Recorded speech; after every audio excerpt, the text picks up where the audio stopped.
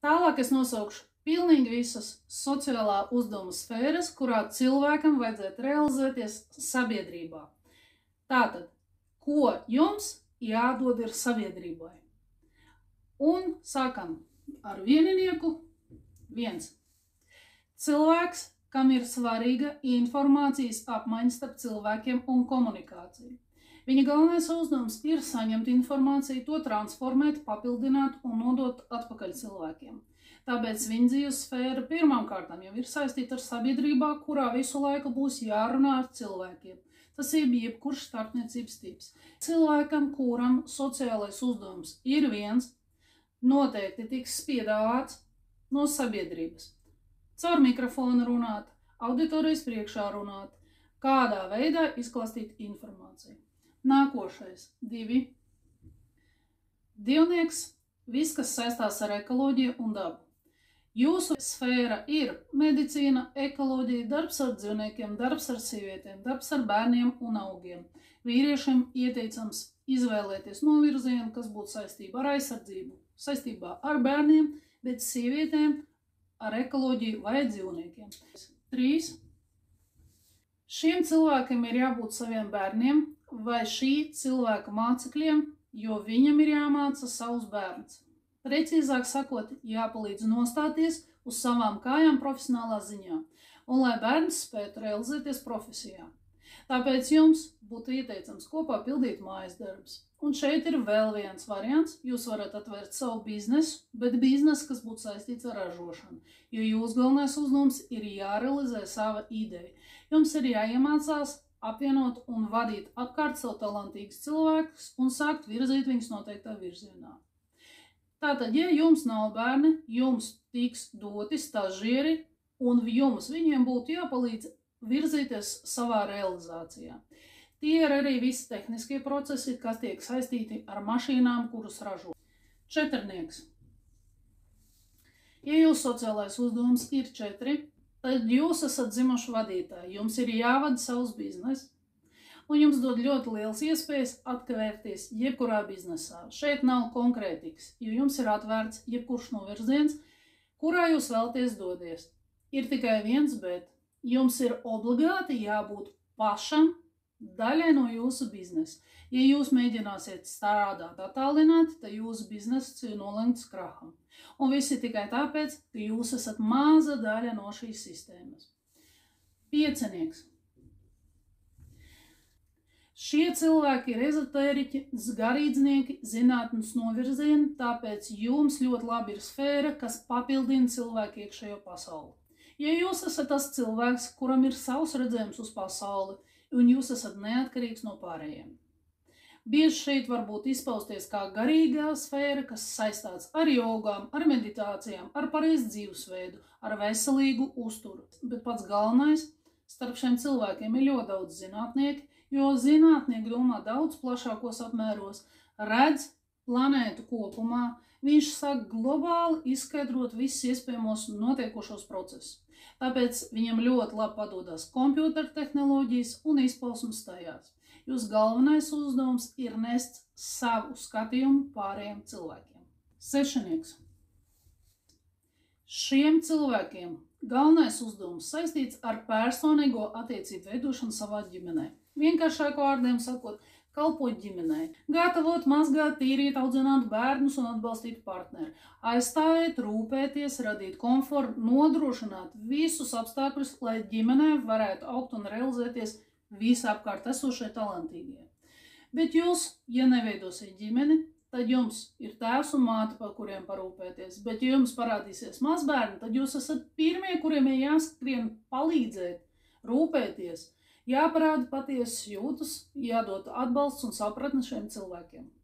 Nodevība un šķiršanās zem šīs zīmes ir nepieļaujama. Tāpat arī jebkura nevēlēšanās palīdzēt ģimenē esošiem, šī zīme strādā kā nodevība un pārvēršas mīnusā.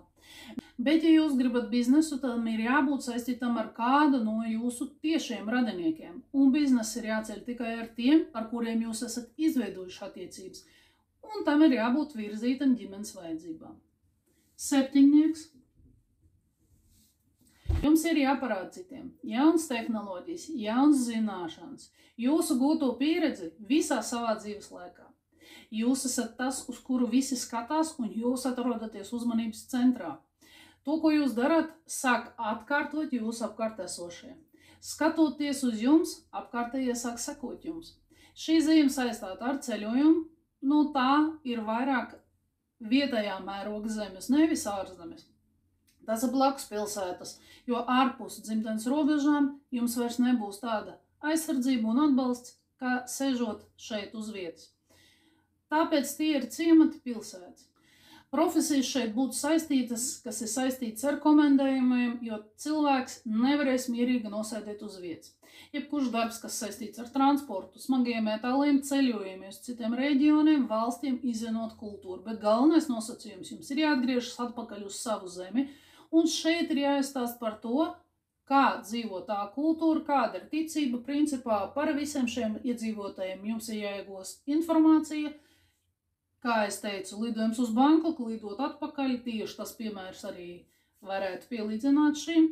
Jums ir jāizstāsta visa šī kultūra, kāpēc, jo ne visi cilvēki var aizbraukt un iegūt to. Jūs esat tas, kas paplašina pārējo redzesloku.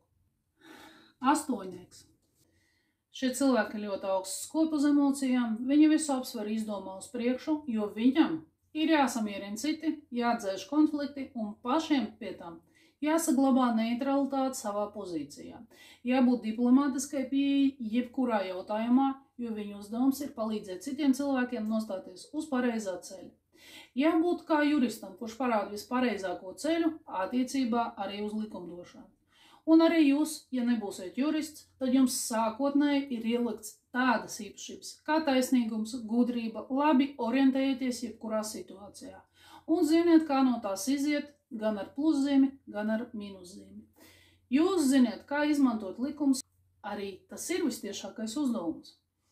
Ja jūsu biznesa būtu saistīts ar likumiem un dokumentiem, tas varētu būt saistīts ar likumdošanu un tiesībām.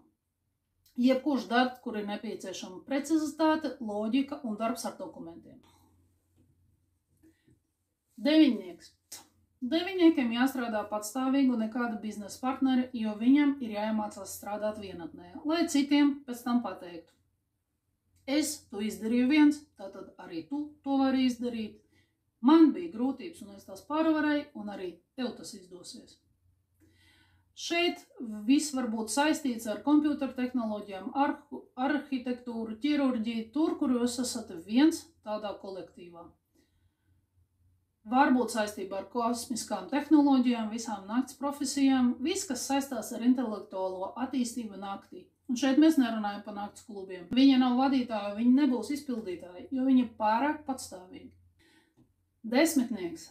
Šiem cilvēkiem visu uzmanību jāvērta naudas pelnīšanai. Un, ja jums ir jānopelna nauda ne tikai sev, bet arī visiem jums apkārt esošajiem, Jums ir atvērti pilnīgi visi ceļi, lai organizētu savu personīgo biznesu. Ja jūs esat sieviete, bet jūsu vīrs guļ uz dīvāna, kā tas notiek 90% sievietēm, tad jūsu uzdevums ir laicīgi parūpēties par viņu, laikā padot ēdienu, laikā padot padomu, paklausību, ievērot gudrību, vienalga kā, lai tikai viņš netērētu savu laiku sadzīves jautājumu risināšanai. Jūsu uzdevums ir vai nu kļūt pašai bagātai, vai palīdzēt kļūt bagātam jūsu vīram. 11. Galvenais jūsu uzdevums ir aizstāvēt citus cilvēkus, bet pirmām kārtām savus tuvākos. No vienas puses šī ir revolūcija un šķēršļu zīme un kardināls pārmaiņas, no otras puses šī ir sadarbība ar otru un samierināšana. Tāpēc aizmirstiet par fiziskā spēka pielietošanu, jo jums var sākt uz to pusi vilkt. Šeit ir visas vīriešu profesijas, kur vajag pielietot gan intelektuālo, gan fizisko spēku, bet galvenais vajadzētu izvēlēties profesijas, kurā ir režīms. Kontrolēt, vadīt cilvēkus, pieskaitām arī visus šeit sporta veidus, kuri vajadzīga disciplīna un īpaša sagatavošana. Ideāla profesija šeit būtu neiroķirurģija, manuālā terapija, darbs augstumā, ekstremālā vidē, kosmosā vai zem ūdens. 12. Visspilgtākā zīme, kas ir saistīta ar sabiedrības aktivitātēm, un principā šī zīme nenes naudu. Jo tie sociālai darbinieki, brīvprātīgie garīdznieki, psihologi, kas principā atrisina un atšifrē jūsu personīgo ceļu.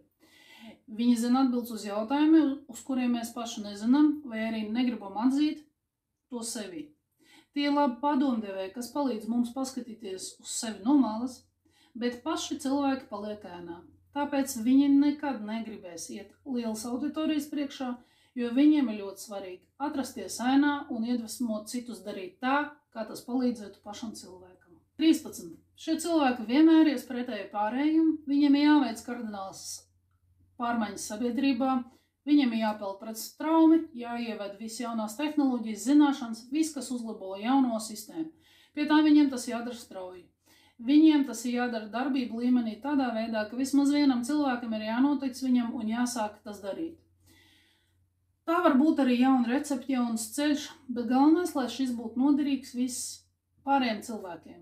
Šeit ir viss, kas saistīts ar aizsardzības iestādēm. Galvenā iezīme varētu būt advokatūra, prokuratūra vai arī cilvēki, kas strādā ar nāvi.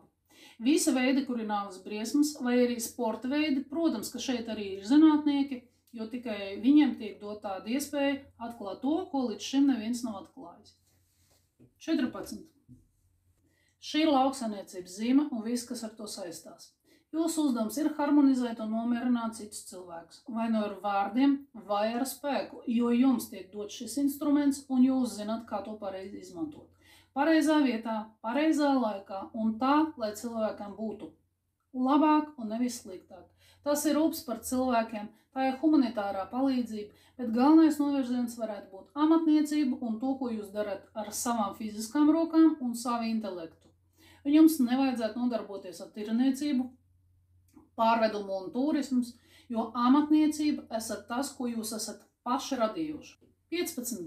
Šiem cilvēkiem ir atļauts pilnīgi viss, jo skatoties uz viņiem, pārējie sāk saprast, kas ir pareizi vai nepareizi, godīgi vai negodīgi, taisnīgi vai netaisnīgi. Jo pateicoties viņiem, mēs sākam labāk orientēties vidē un sākam saprast, kas ir labi un slikti, balts un melns.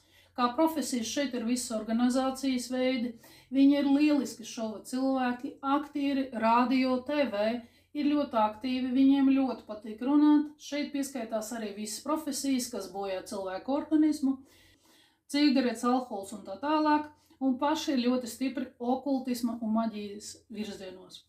Šeit pieskaitās arī ēnu kardināli, kā spēcdienesti, izlūkošana un nakts klubi. 16. Viss, kas saistās ar celtniecību, būvniecību, un šeit ir jāsaprot, ka var uzcelt ne tikai fiziskas sēkas, bet arī izmainīt cilvēku pasaules uztveri. Jūs varat iepazīstināt vienu partneri ar otru, tādā veidā jūs uzbūvējat ģimeni. Un vienalga, ko jūs būvējat, jo jums ir visstiprākā biznesa zīme. Un, ja jūs izveidosiet biznesu, jūs vienmēr būsiet pirmais kādā nozarē.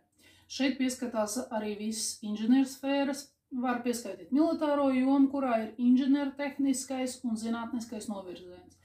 Šeit viss, kas saistīts ar remontdarbiem un viss, kas saistās ar pagātni.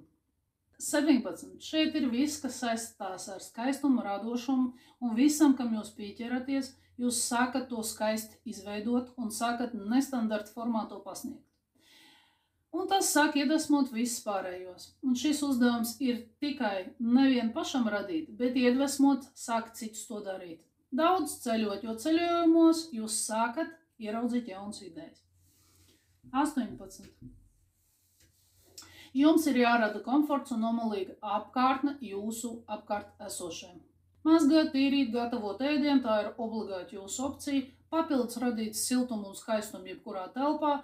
Ierodoties darbā, jūs varat sākt to iekārtot tā, lai visiem kļūst labāk un viņi it kā atrastos mājās, un tādā veidā visi cilvēki sāks nāks pie jums. Šeit ir restorāna turisms, viss, kas saistīts ar cilvēku pašsajūtu. Un tādiem cilvēkiem nav ieteicams pat dzīvot dzīvoklī, bet mājā, jo tādai sajūtai ir jābūt, kur ir plašums, komforts un mājas sajūta. 19. ir atvērts jebkuras virsotnes, sākot ar nodaļas vadītāju, beidzot ar ļoti augstu rangu ierēdi, jo jūs esat tas, kurš vada un koordinē citus. Un pateicoties jums, sāk strādāt viss kopējais mehānisms. Un jūs neesat četrnieks, kuram pašam jāpiedalās procesā, jūs esat tas, kurš nosaka prioritātes, un profesijā šeit galvenais būtu vienalga kur, bet galvenais nosacījums, lai pārējie klausītos un klausītu jūs.